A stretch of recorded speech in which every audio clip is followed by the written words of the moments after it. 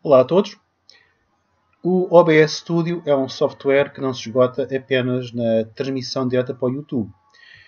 Ele permite muito facilmente criar capturas do nosso ecrã em vídeo, ou seja, é uma forma muito simples de nós conjugarmos os recursos do nosso computador, criar pequenos vídeos procedimentais para que nossos alunos tenham aprendizagens mais ricas à distância.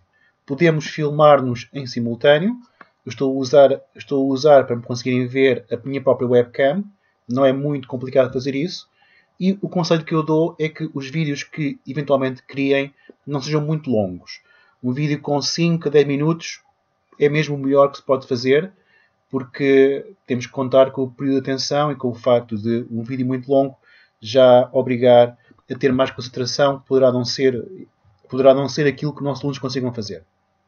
Vídeos curtos, mais vale uma sequência de muitos curtos vídeos do que um longo, épico de hora e meia para mostrar como é, que se, como é que se opera uma aplicação ou como é que se faz um determinado exercício de alguma disciplina.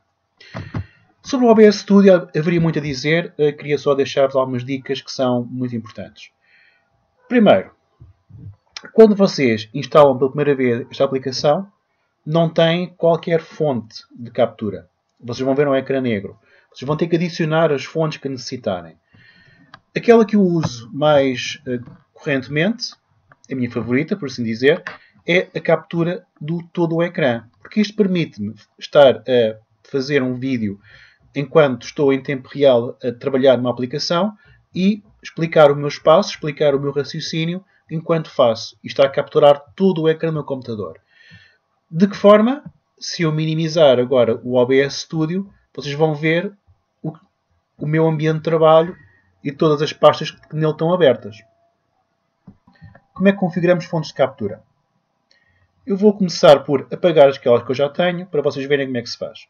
Então eu vou clicar sobre a captura de vídeo, vou clicar no botão menos e agora deixaram-me ver. Estão apenas a ver captura do meu ecrã. Este efeito Inception quer dizer que ele está a fazer a captura recorrente do que vê, que é literalmente ele próprio.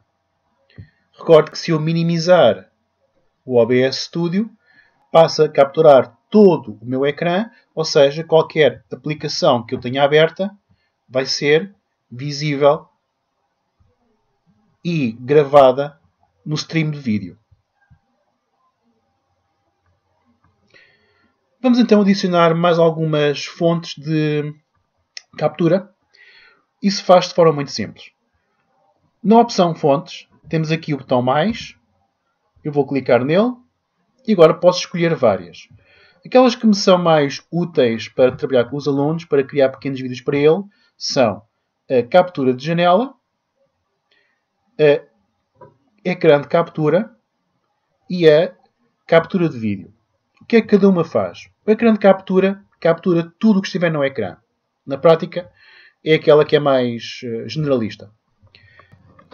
Para criar uma captura de janela, clico em Captura de janela. Vou tirar aqui o visto na fonte visível, porque senão vocês não vão conseguir ver o que eu vou mostrar a seguir. Se eu deixasse a fonte visível, neste, o que vocês iriam ver neste vídeo seria a janela que eu escolhesse apanhar todo o ecrã. Vou clicar no botão OK. E agora posso selecionar dos programas que tenho abertos no meu computador qual é que é a janela a ser capturada. Aqui está o shortcut, mas imaginemos que eu quero mostrar qualquer coisa no navegador, no Chrome. Então eu vou escolher a opção Chrome e agora, no, em todo o ecrã, o OBS Studio está a capturar a janela do Chrome. Clico em OK e tenho a captura aqui ativa. Ela está invisível neste momento, fiz isso para, para, para que vocês conseguissem ver as opções de captura. Eu vou torná-la visível e a partir deste momento o vosso vídeo transformou-se apenas no meu navegador. Eu vou colocá-lo mais pequeno. Repare, qualquer fonte de captura do OBS Studio tem uma caixinha que nos permite minimizar, aumentar ou esticar, proporcionalmente, claro, e até mudar de posição as fontes de captura. E posso também alterar a sua ordem. Neste momento, a janela passou para ordem secundária e aquilo que estão a ver é a captura de todo o meu ecrã.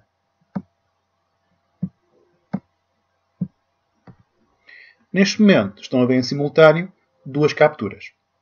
Vou juntar a isto, porque posso fazê-lo, a captura da minha webcam. Então, como fazer? Vou então iniciar a captura do meu vídeo. Então, eu clico no botão Adicionar e em seguida na opção Dispositivos de captura de vídeo. Para já vou tornar invisível e vou clicar em OK. Qual é que é a fonte de captura de vídeo? Eu aqui posso escolher várias. Posso escolher a pré-definição do meu computador ou posso escolher outra. Isto, claro, vai variar de acordo com os vossos computadores. Cada um terá o seu software de gravação da vossa webcam. Clique em OK e está ativo, mas invisível. Eu vou posicionar um pouco mais para este lado. Venho aqui a opção de visibilidade e já me estão a ver em simultâneo e posso, se quiser, aumentar ou diminuir a janela de captura. Quando estão a fazer captura de vídeo no OBS Studio, qual é que é o truque agora? Depois de iniciarem o vosso setup de janelas, de colocarem o que quiserem em termos de uh, ecrã de fundo, etc., clicar no botão Iniciar gravação. Neste momento, como podem ver na minha captura, está a decorrer. Se for para o YouTube, como já viram no vídeo anterior, seria clicar no botão Iniciar transmissão e colocar lá os links do YouTube. Para continuar a vossa captura, tem apenas que fazer isto. Tem que minimizar o OBS Studio e depois tudo que está, tudo que está no vosso ecrã fica visível e vocês podem mostrar aos vossos alunos tudo aquilo com que estiverem a trabalhar no vosso ecrã. É claro que no meu caso estão a ver também simultâneo o navegador, mas isso resolve-se muito facilmente tirando aqui esta captura de janela. Onde é que o OBS Studio grava os vídeos? Para isso, vimos a opção Ficheiro e em seguida a opção Mostrar gravações. E abre-se a pasta Vídeos do vosso computador, onde vão conseguir ver as várias capturas de vídeo. O que é que fazemos com elas? Poderá ser preciso editá-las, porque nós, quando estamos a gravar um vídeo, fazemos pausas, a, nossa, a nossa voz falha, esquecemos do, do, que estamos a dizer, acontece, tudo pode acontecer, vai acontecer. Há interrupções, o cão ladra, o gato mia. Como fazer então? O que eu sugiro aí, mas não quero entrar em muitos detalhes, porque há muitas opções, é usarem um software de edição de vídeo para poderem fazer edição daquilo que capturaram. Ou seja, fazer cortes, cortar o que não é necessário, adicionar títulos, etc. Existe muito software para isso na internet, é uma questão de eventualmente explorarem. Quando quiserem terminar a vossa gravação, tudo o que têm a fazer é clicar no botão para a gravação.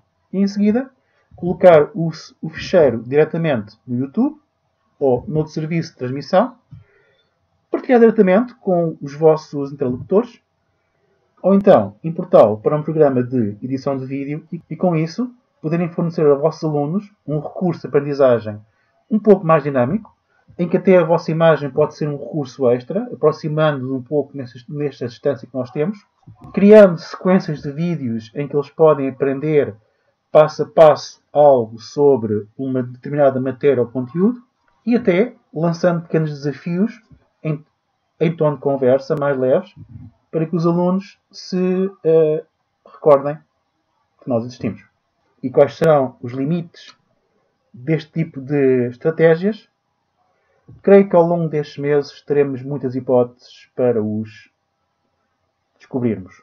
Eu, por exemplo, hei de ver o que é que consigo fazer com estes robozinhos e as webcams. Até à próxima.